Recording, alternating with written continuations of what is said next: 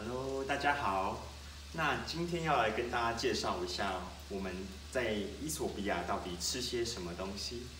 因为我们是 vegan，我们是呃纯素者，所以我们在做料理的时候就会特别去考量我们要怎么样子去增加我们食材的，就是可看性跟跟广度。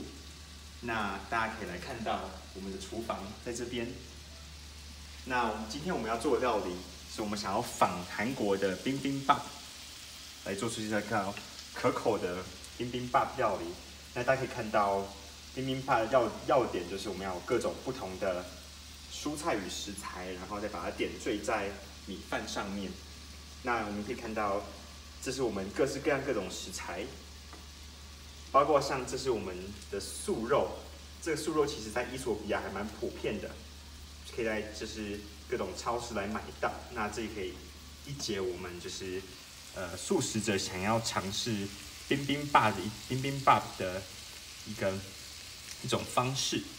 那我们也切了一点就是胡萝卜丝，还有搭配一点就是自己自创的呃对，就是青花菜加入冰冰霸料理，还有一点洋葱。这个是这个是节瓜，那再加上一点点黄色的椒，还有大白菜，一起下去在锅子里面煎。那待会我们再把小黄瓜切丝之后，就可以做各式各样各种不同的料理来拌在这米饭上面。这就是我们今天的午餐。